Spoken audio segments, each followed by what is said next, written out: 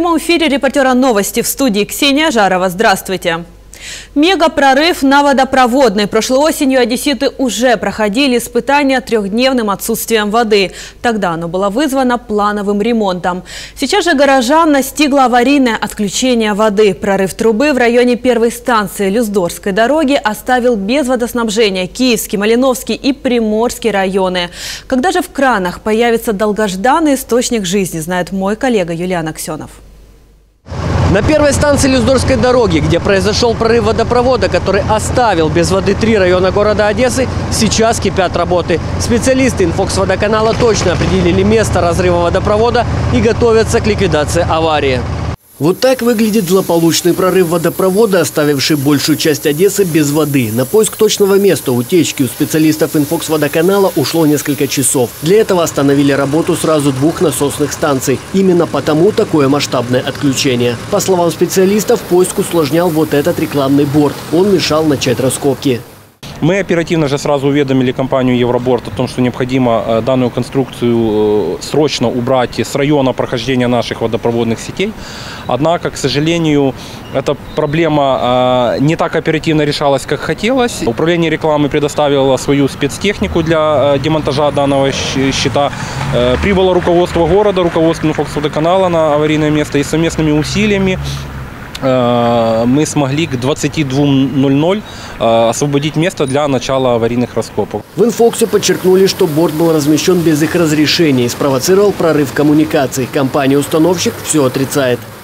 Бигборд находится от порыва трубы минимум в 5-7 метрах. Причем бигборд был установлен еще в 2012 году, на что есть все документы, э, законодательные, утвердительные акты. Э, значит, э, вчера поступила нам информация о том, что нужно демонтировать борт. Предприниматели уверяют, что демонтажом занимались именно они. Теперь компания готовится отстаивать свою деловую репутацию в суде. Тем временем на одесских бюветах небывалый ажиотаж. Сотни людей, лишившись воды, пришли пополнить ее запасы. Чтобы добраться до заветного крана, потребуется около двух часов. Где-то час сорок вот так где-то. Час сорок где-то вот так примерно. Очень обозленные люди, пенсионеры особенно. Ну, то есть у людей вообще дома, как бы мы не знали, что проснулись утром, а воды вообще дома нет, и пришлось вот сюда прийти и набрать водички. Ну, надеемся, хотя бы до вечера там исправят эту поломку потому что это ж невозможно. Без воды никак. Не приготовить, ни, ни в туалет пойти. Тяжело.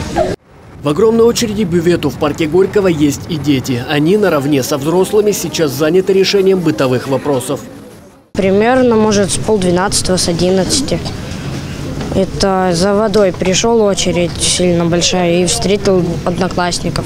Вот с ними сейчас, с ним, с одноклассниками стою, ждем очереди своей, вот скоро подойдет она. Мама дома с ребенком, с сестрой маленькой осталась, двухлетней, и воды нету дома. И сварить кашу не на чем пока что.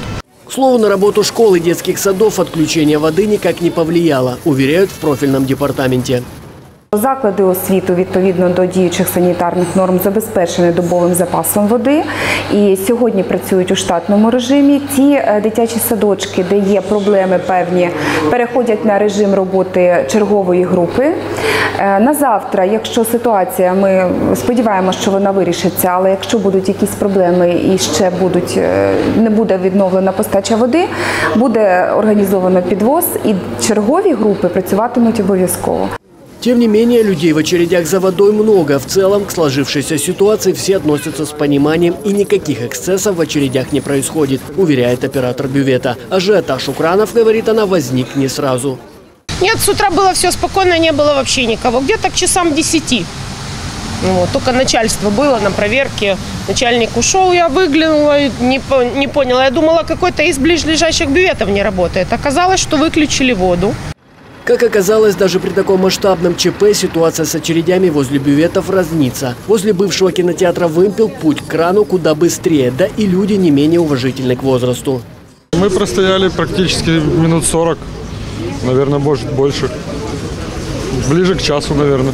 А скажи, как вообще в очереди настроение? Не люди не берутся? Нет, слава богу, нет. Люди все добрые.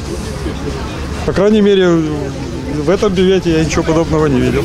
А кто-то приходит пропустить и бутылочка. Ну, старушек иногда пропускают, да. Причем спокойно. Как сообщают в инфокс-водоканале, искать альтернативные источники воды одесситам осталось недолго. Ориентировочное время завершения аварийных работ и восстановления водоснабжения – 10 часов вечера. Юлиан Ксенов, Денис Рудь, телеканал «Репортер». Поножовщина в троллейбусе. Нетрезвый пассажир троллейбуса, поссорившись с незнакомкой из-за багажа, который якобы ему мешал, и ее родственником, который вступился за женщину, взорвался и ударил ножом первого, кто попал под руку. Жертвой чужого конфликта стал 31-летний житель Черноморска. Его госпитализировали с проникающим ранением живота. Разъяренного злоумышленника обезоружили и передали полицейским. Правонарушителем оказался 52-летний ранее судимый мужчина мужчина. Теперь ему грозит до 8 лет лишения свободы. Я говорю, женщина, уберите сумку. Я беру так ногой, сдвигаю сумку, там мне начинает. Если бы вот был тут муж, пробовал бы эту сумку тронуть. Я не помню, как я за тот нож схватился. Один раз я его ударил, чтобы он отскочил от меня, поймался и ушел. Любашовский вестерн. В Одесской области полиция задержала подозреваемого, который пытался скрыться на лошади. Правоохранители проводили оперативно-розыскные мероприятия по задержанию подозреваемого в убийстве, совершенном еще в 2017 году. Пытаясь скрыться, мужчина вскочил на коня и попытался скрыться. В результаті чого співробітниками поліції було застосовано спецзасіб, а саме для відстрілу гумовими кулями. В подальшому вказану особу було затримано, та в теперішній час вирішується питання щодо обрання йому запобіжного заходу тримання під вартою. Отремонтированная в 2016 году дамба Хаджибейского лимана вновь протекает. Были ошибки при выполнении работы или на этапе проектировки, пока не ясно. Также непонятно, кто должен отвечать за качество таких работ, а также поддерживать надлежащее состояние дамбы.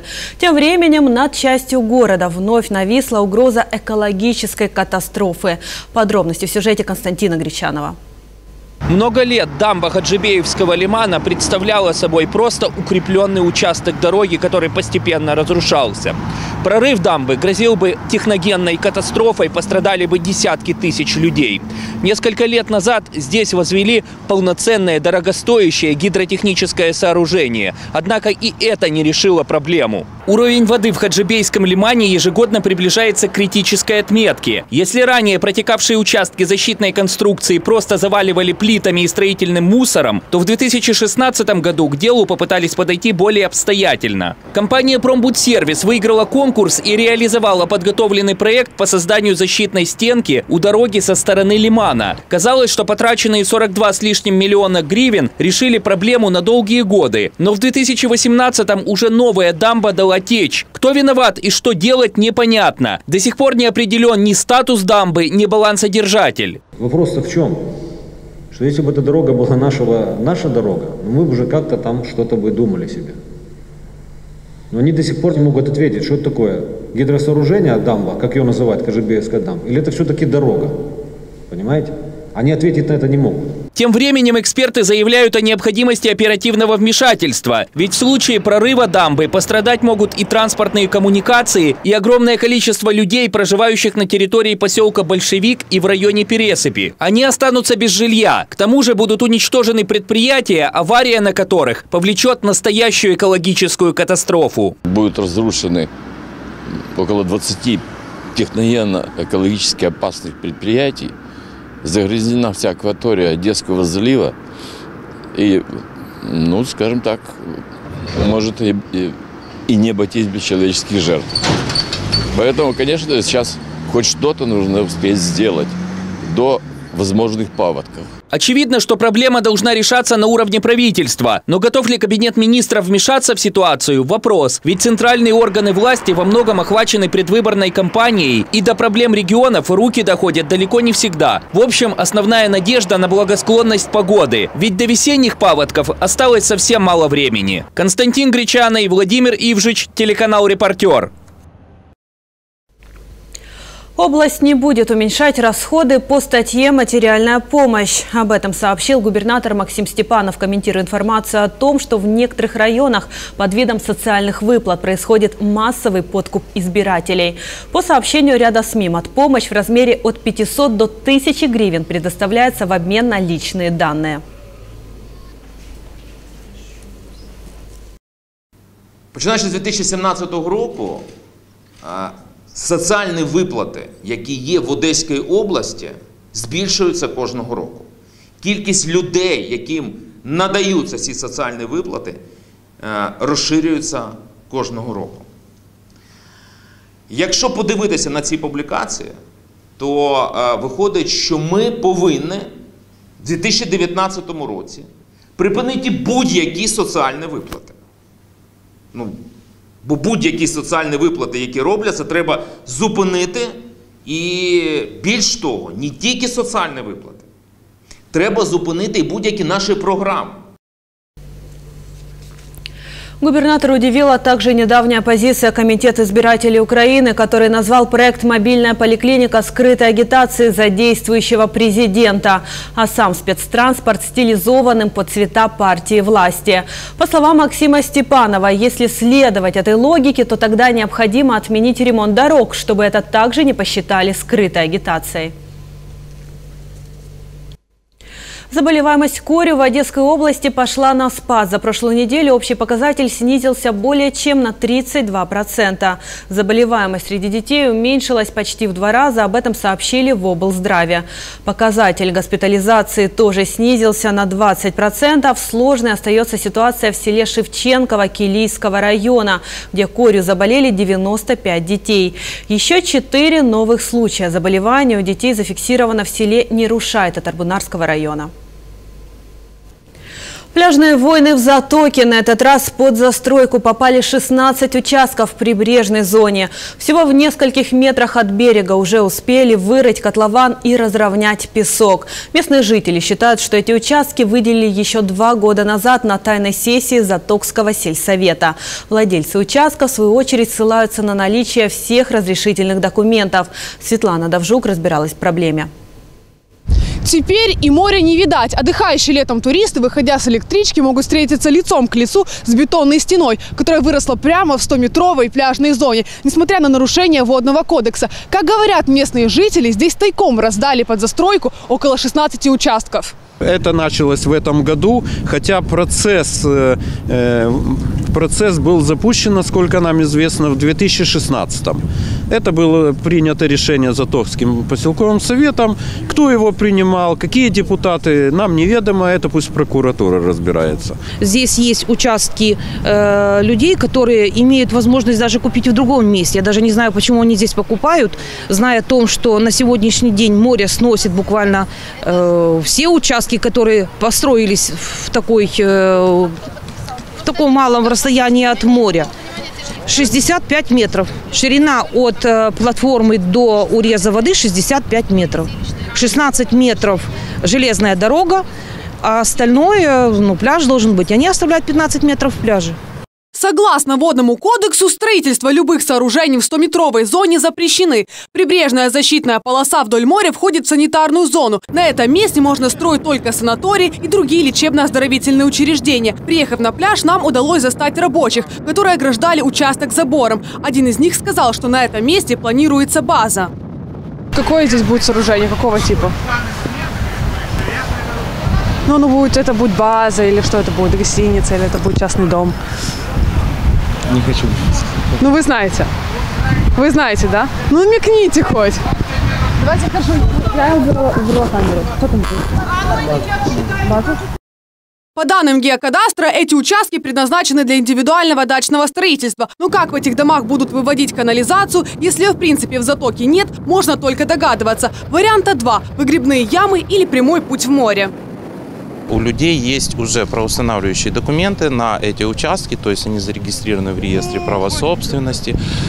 И, э, но тут в чем э, коллизия с законом? На сегодняшний день э, у нас в, закон, в в государстве действуют законы, которые определяют э, невозможность э, здесь строительства. То есть есть такое понятие, как ДБН, СНИПы. То есть ДБН – это державно-будівельні нормы, э, санитарно-охоронні зоны, то есть которые говорят о том, что э, вот сзади вас проходит железная дорога, да, в некоторых моментах 50 метров, в некоторых моментах 100 метров нельзя возле железной дороги делать э, строительство жилых домов, строится. То есть второй момент.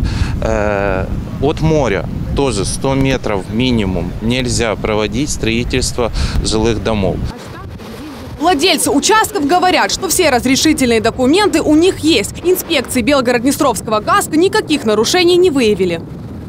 Мы не первые владельцы этого участка, поэтому мы покупали. По закону есть от 20 до 100 метров разрешается строительство от 20, 20, от 100 до, от 20 до 100 квадратных метров по году.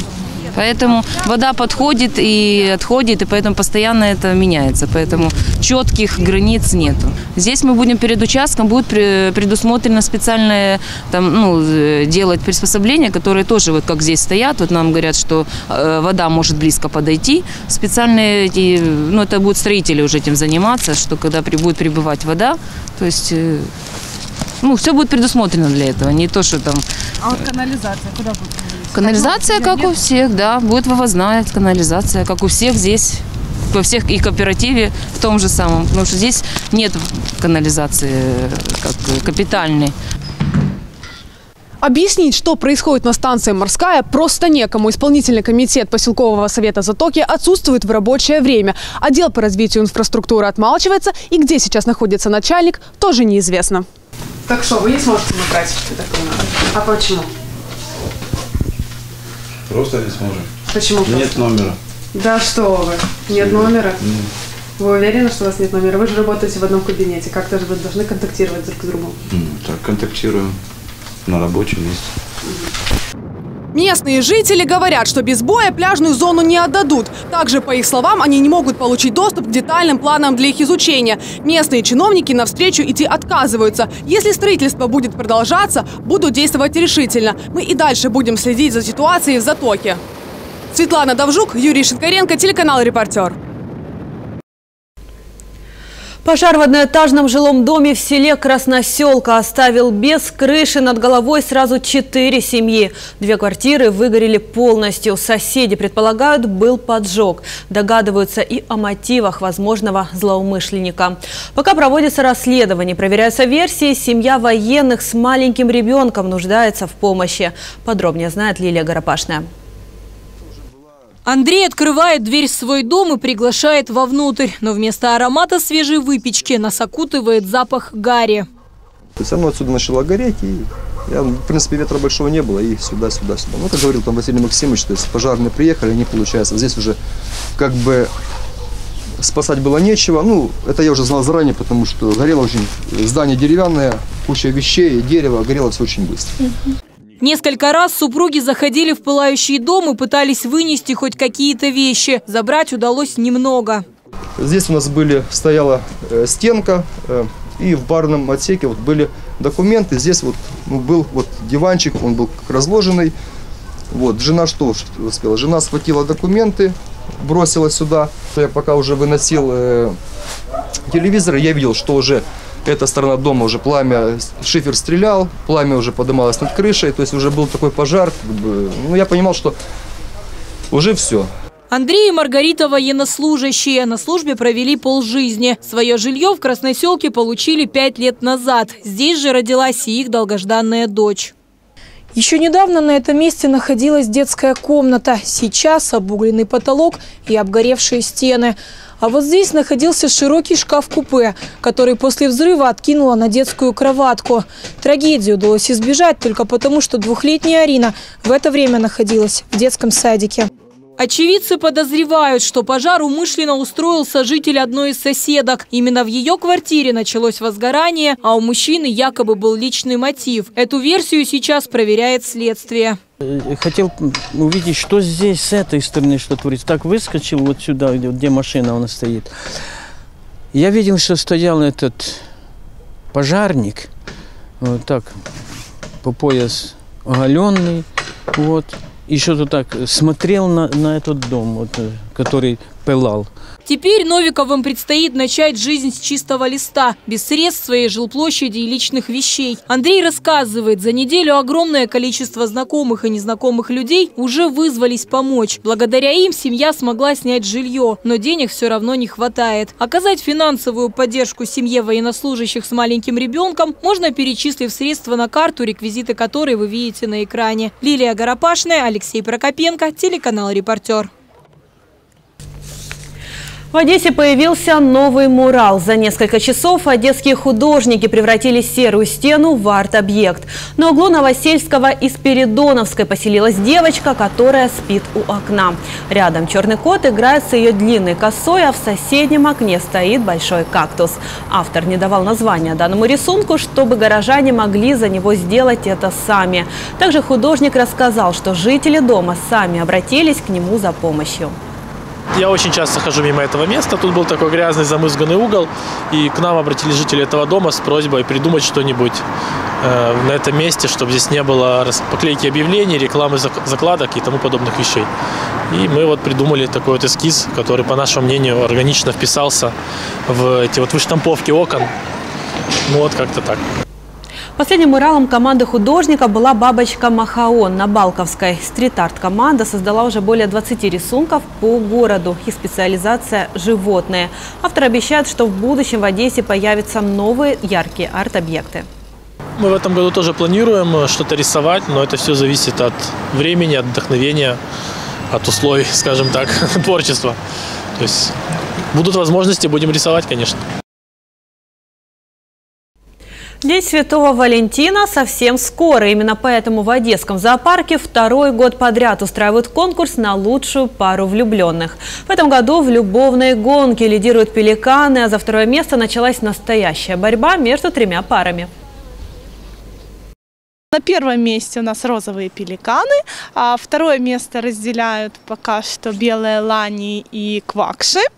А на третьем, а, также волки, они у нас участвуют. Это все, это, они там буквально один лайк, там два лайка разница. А на третьем месте пока что у нас а, а, наши верблюды. Проголосовать за самую сладкую парочку можно на страничке Одесского зоопарка в Фейсбуке. Влюбленные, которые наберут наибольшее количество лайков, получат вкусный приз. Победителя огласят 14 февраля, а для детей устроят праздничный концерт. И на этом наш выпуск завершен. Оставайтесь репортером. Счастливо!